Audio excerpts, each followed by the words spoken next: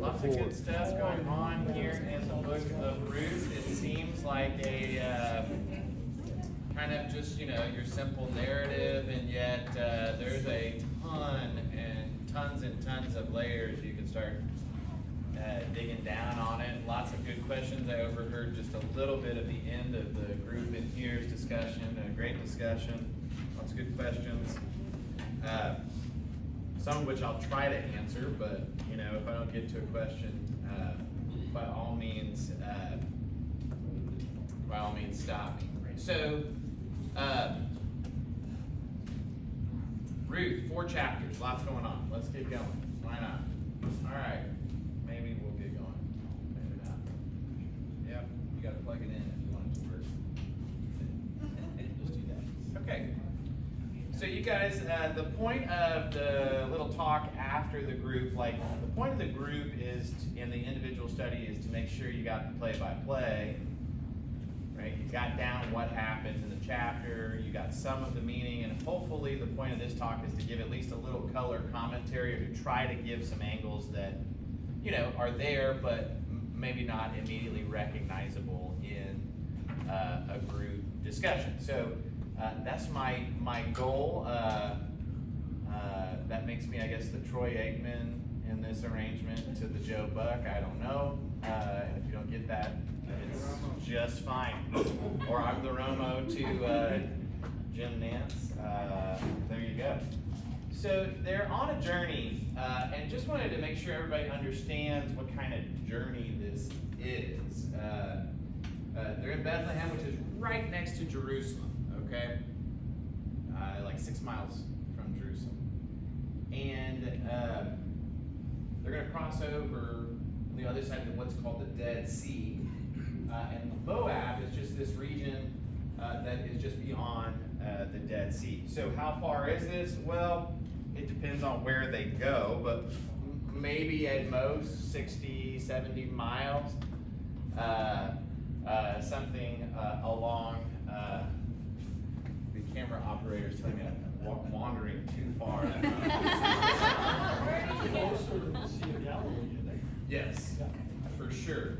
So uh, where Jesus, uh, Galilee is way up north here, not that far. I mean, this is a pretty small country, uh, certainly by Texas uh, standards, but it's not that far. All right. Uh, but it's what, what's emphasized here, and what I, what the angle that I want to try to, to, to make sure you see is that uh, they're leaving one place to go to a, another place. Now, the, the presenting issue here is what? Famine, right? We all got that, right? There's a famine over here. Uh, now, this is way more desolate than even this, and this is not exactly, uh, you know, California, all right? Uh, this is uh, pretty rough in terms of what we might call lush. and the interesting thing is they, they're going really away from right? But they're going in search of food. But the story here is the story of a journey. Uh, they're setting out on, on a journey. And, and, of course, so many great stories are this way. You think about uh, all of the great stories that we love to, to tell as people. Uh, it's the story of the quest or the story of uh, the journey. So you think about like the Lord of the Rings, for instance. Uh, it's a story of uh, of a journey, and there, there's lots and lots and lots of it. Well, here, uh, the journey is a big part of the story.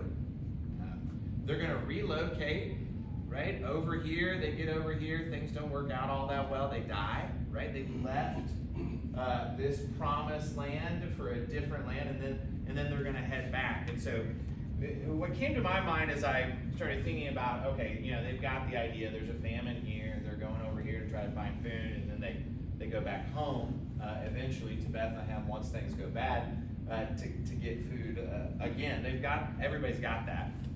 But what came to my mind was the story of a, a kind of a journey of faith. And I think that's one of the things that is emphasized, maybe not explicitly, but certainly implicitly in this story of return to Bethlehem is the story of, of setting out in faith. So, so Abraham, you know, is our father of faith, and his whole thing was he had to leave his homeland, right? He had to journey uh, away uh, from that which was comfortable and that which was known uh, to the land that God was promising him, which was unknown and uncomfortable. And I think in that story, and I think in this story, there's something that is uh, deeply powerful about that for each one of us because um, I think one of the things it's meant to emphasize is just that, that our life is this journey and we are seeking after certain things. And the question is like, when we go after something in life that we think is something good and then it, it isn't working out, what do we do? We got to keep discerning. We got to keep moving on the journey of life. That's what they ultimately do, right? Naomi doesn't say, like, well, here I am in Moab, and now my husband's dead and my sons are dead, I'm just going to stay here forever, right? Like, she has to keep going. She has to figure out what is the next step. How does she live her life in accordance with God's plan? So, of course, she goes back, and we know the story. Ruth, Ruth goes with her. But the question is, like, what can we see from this concept that might help us? And each of us is on a journey in our own life, and undoubtedly, you've gone to some Moabs in your own life, right, where things didn't work out where uh, it led you to despair. Uh, you think about what, what Naomi ends up saying there in chapter 1. You know, don't, don't even call me Naomi I, have a new name. My name is uh, bitter, right? Mara, bitter. Um, and, and so, she, so, so you sort of think about, if you're like me, you start thinking about all the stories in the Bible where somebody gets a new name. What does that mean for her? it means that she's has she's at this really low point in her self-understanding, right? She's she's bitter in her life, um, and the good news is God is not done with her. She's right at the point of, of, that she's really low in her journey. Uh, she goes back to Bethlehem. She's humiliated. You know, she's brought low. Uh, yeah, you know, everybody, she's not sure how everybody's going to think of her when she gets back. Yeah, good luck. You, we stayed and you left. Remember, you were going to go do something big and go find all the cool stuff over in Moab. We stayed. Um, so she's brought low. And the question is, um, or the thing I guess that, that may be important to notice is that God's not quite done with her. All right, so right at the moment of her greatest despair is the moment when God's blessings begin to unfold. So uh, I wanted to sort of lay that out and sort of say, um, in your life, you've been to Moab at some point. Uh, we all have. We've all made some. We've all uh, maybe we brought it on ourselves. Maybe it was to due to circumstances that were out of our control. But we've all been brought to a place uh, of lowness uh, where we were humble. And the question is, what will we do with that? All right. There's this uh, parable, and you're going to say, what does this have anything to do with what you're talking about? But there's a parable in the New Testament uh, that you guys are familiar with. It's obviously one of the most famous parables, the parable of the Good Samaritan. You remember the, the story Jesus tells? So he tells this story of this guy who, who leaves Jerusalem and goes to Jericho. You remember on the way, he gets beat up, right? And then uh, uh, who walks by? Priest. Right? The priest walks by. What's he got? Absolutely nothing. That tells you what you can get from a priest right there. uh, the Levite walks by. What does he do? Nothing. And then the Good Samaritan, or the Samaritan, the foreigner, the enemy, the least expected person, uh, uh, walks by, and, and what happens? Right? Helps him out, binds up his wounds. He's part of his healing.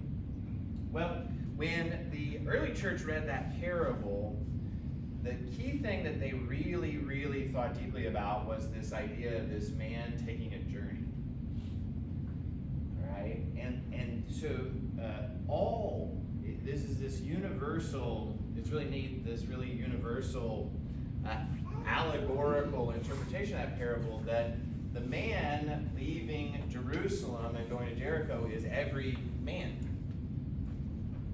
right? It's every single human being who, who leaves Jerusalem and goes to Jericho. And, and along the way, life beats them up a little bit. Everybody has to take a few licks in life. And uh, And, and the way that they interpreted this was, you know, the, the priest went by, that's, that's the law in the Old Testament. Right? And nothing happened. Uh, and then the Levite goes by. This is the prophets in the Old Testament. Nothing happens. And then the Samaritan comes, the one who's a little bit different from them, and that is Christ who comes to bind up our wounds. Okay? So the whole point of me trying to sort of emphasize this is that all of us are on a journey. And Naomi was on a journey herself. And her journey took her to a place where she was beat up.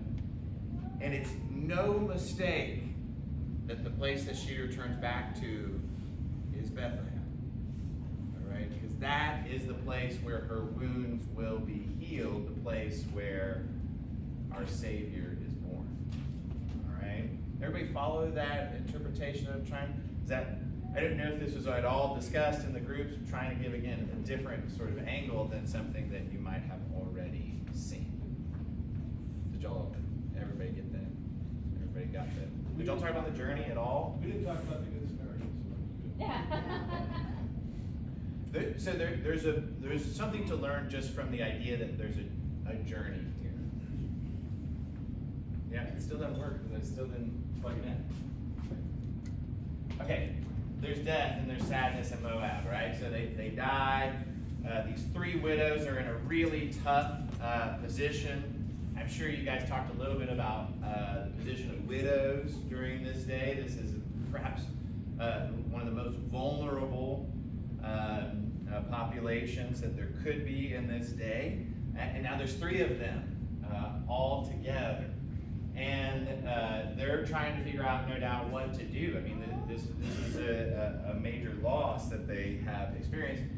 And so uh, the interesting thing is that bread returns to the house of bread. Uh, uh, there, that's what Bethlehem means, the house of bread in Hebrew. Did everybody already know that? Okay, so the name Bethlehem in Hebrew means house of bread. All right, so there was no bread in Bethlehem. Uh, the famine, and now the famine's over. They're going back to get bread. Uh, house. So uh, think about like uh, Bethany, Mary and Martha of Bethany. That means house of wine. So this like Beth is house. This is in the notes, by the way. Uh, and the lahem or, or it, it is bread. Um, so so they go back to the house uh, of bread. And, and this itself is just important to notice that this points us forward to what Jesus will later say. He preaches this really, really long sermon in John chapter 6, the bread of life sermon. Uh, and, and, so going back to Bethlehem, uh, the place where the Savior will later be born, and, and Ruth herself will find that, that you know she's the ancestor uh, of Christ, right? She's the great, great, great, great, great, great, great, great, great, great, great, you know, how many, however many great uh, grandmother of Jesus.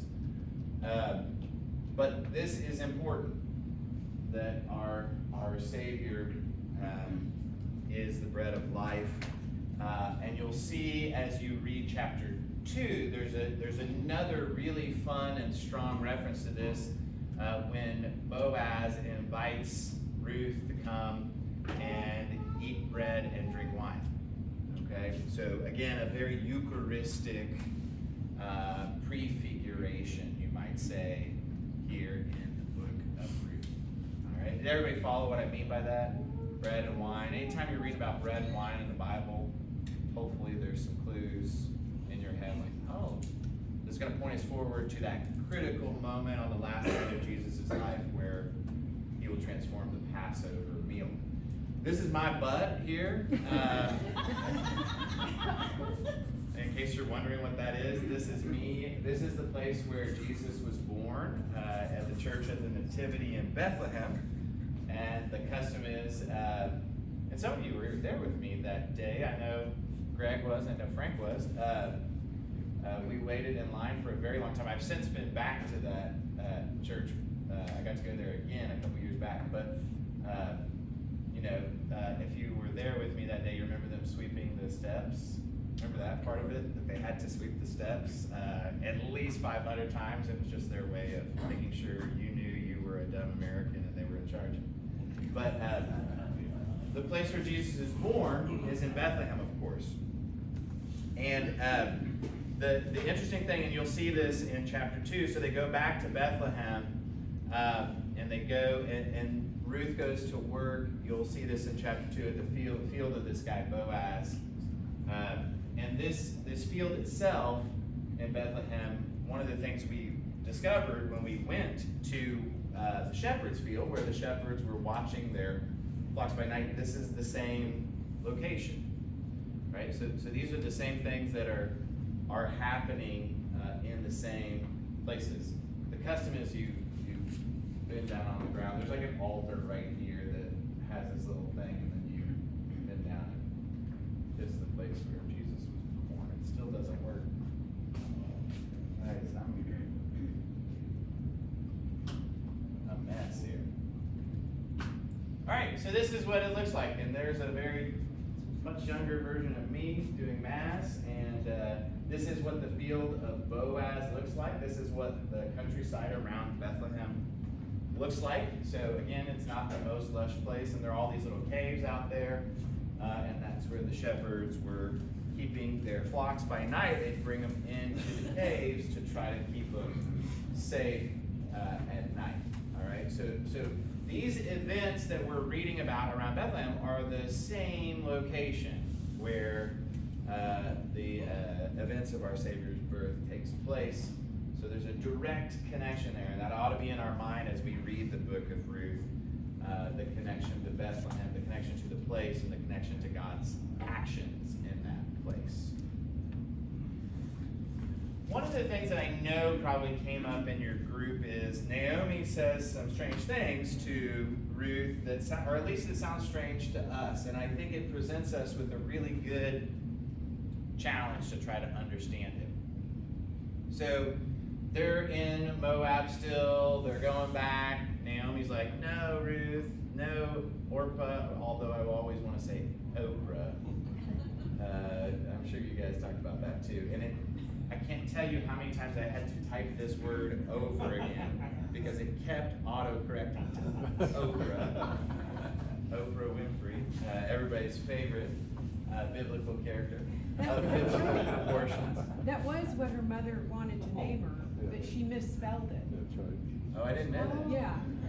Well, We can fix that. I'm sure there's a, a lecture note in there somewhere that I don't, I can't, that come to mind. All right, so, so Naomi says something that sounds strange to us, to, to Ruth uh, and to Orpah. She says, uh, uh, so Ruth 115 says this, so she said, see, your sister-in-law has gone back to her people and to her gods. Return after your sister-in-law. So, you know, it sounds strange to us because we're like, why is she telling her to embrace other gods? Uh, so why does she do, do this? Because we, oh, we I misspelled that word right there.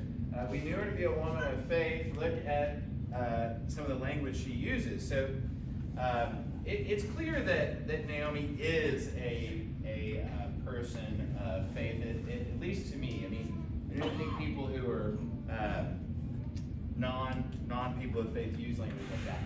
Maybe they do. I don't know.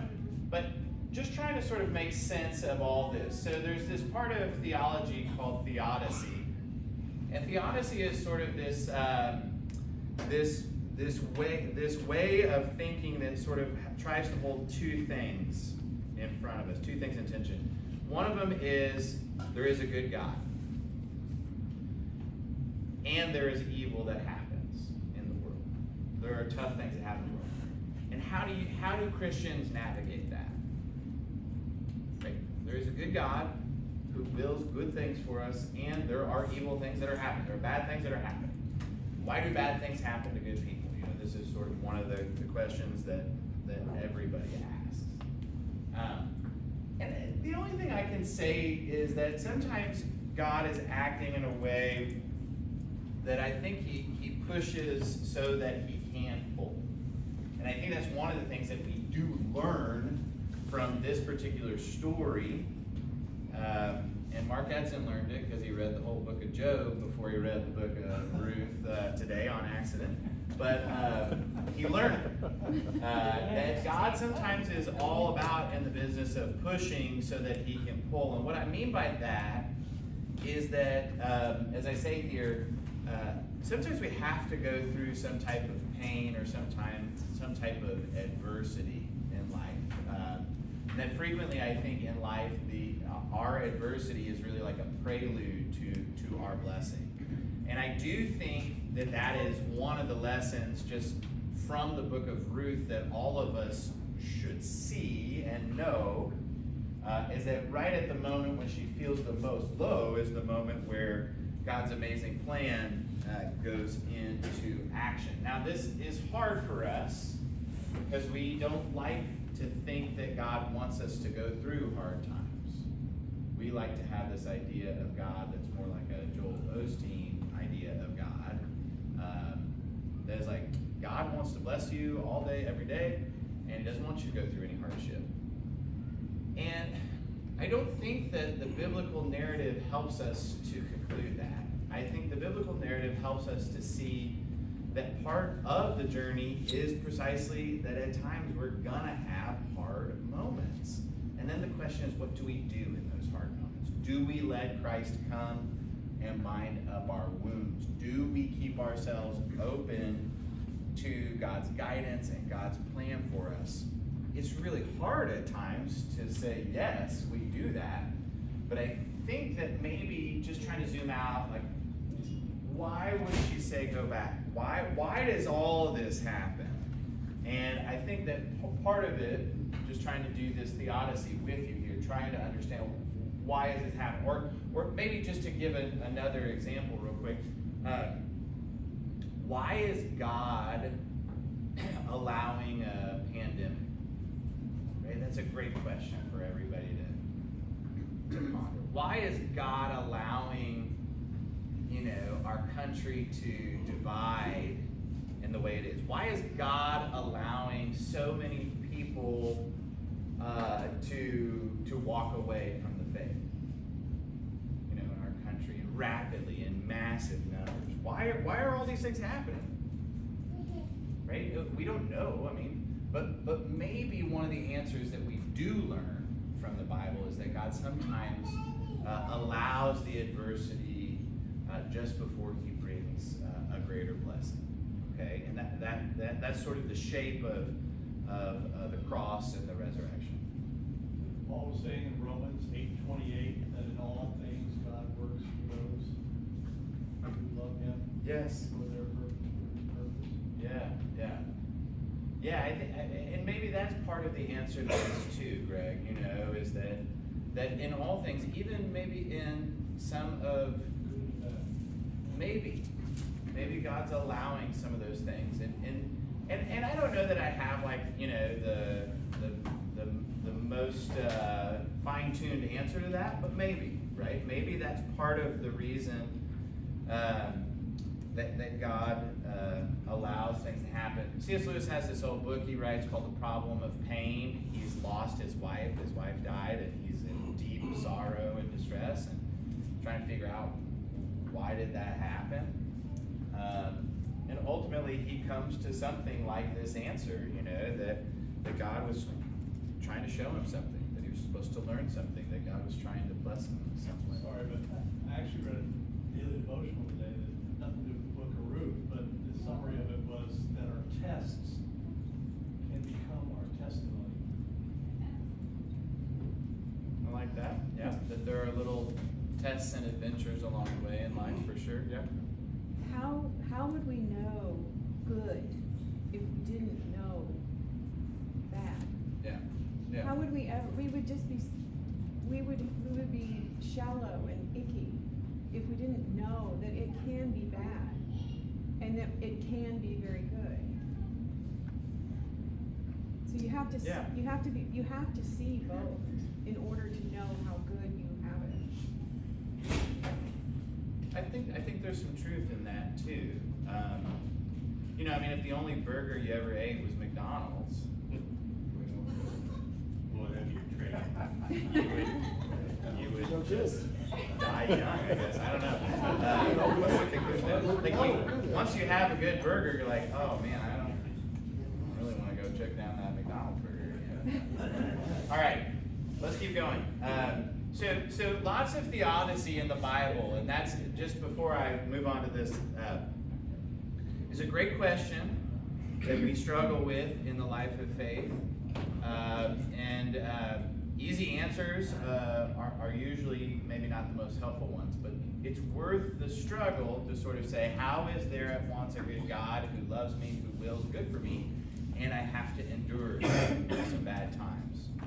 That, that's a good question to just wrestle with and pray about.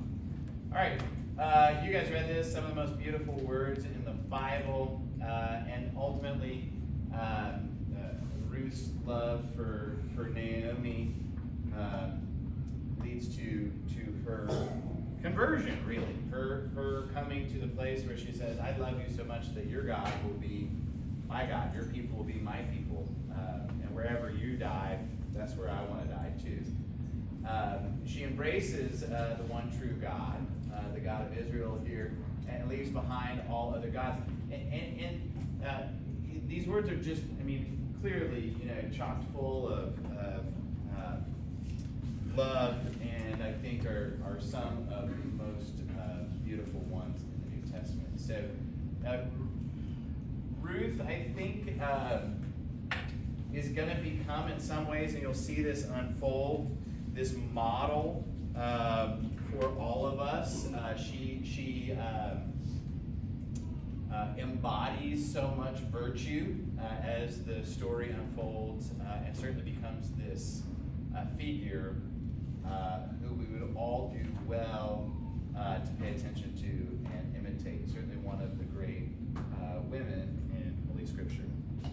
So I think I've said everything that I want to say. Does anybody have anything else they want to say? Hope you're getting something out of this study. I hope it's enriching, you know, your understanding of uh, the Scripture, understanding of um, ultimately of God Himself. So I have a question. Yeah. So, um, Ruth is a Moabite, Yes. Yeah. and they all go to Moab. Are they received as a different culture in the country, uh, region that hates them, that has overthrown Israel? And then they go back. Do the Jews accept Ruth? I mean, culturally, how does how does that work? Well, you'll, you'll read about uh, how Ruth gets accepted, um, and it works out okay for her. Uh, how things go Well, I know for she them gets in accepted Moab, I'm Boaz, not. but by the, like, the community, like the Like- culture of the day. Like we asked about that, the, the, the, when they got to Bethlehem and the people were stirred up. Yeah. What exact, were they mad? Were they glad? Were they like you said, oh, well, you left and now you came back? I think that, so my understanding is that's the connotation. There's probably another way to take it.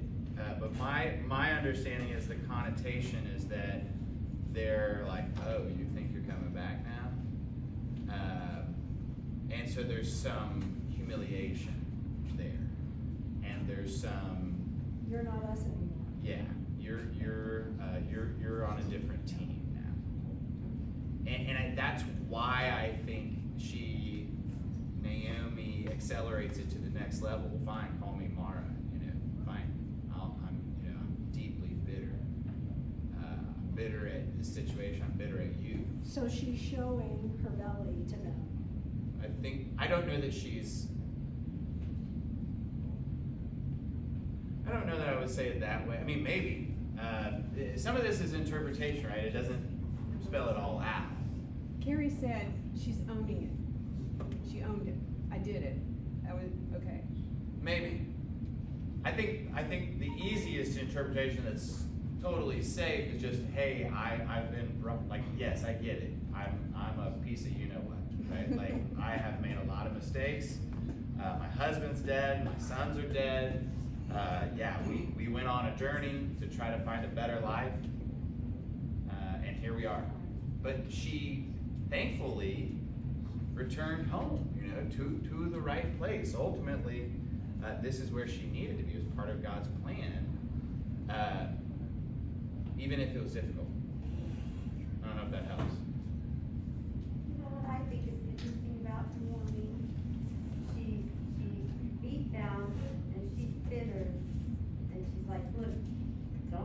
Around me because death and destruction, go leave me on my own. And yet she is the one who inspires Ruth to such loyalty.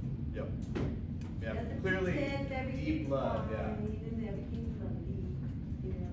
I found this painting of Ruth and Naomi too, and I, I sort of really enjoyed, you know, how old Naomi looks and how young Ruth looks, and just, you know, in my mind, it wasn't quite that extreme, but the, the look of love too between the two of them, so, um, yeah. I think that's well said, Sheree. Okay, well, let's stand and let's have a prayer. Thanks, guys, for being here tonight. I hope that you're getting a lot out of this study. I hope the groups are going good, and, uh, there's packets right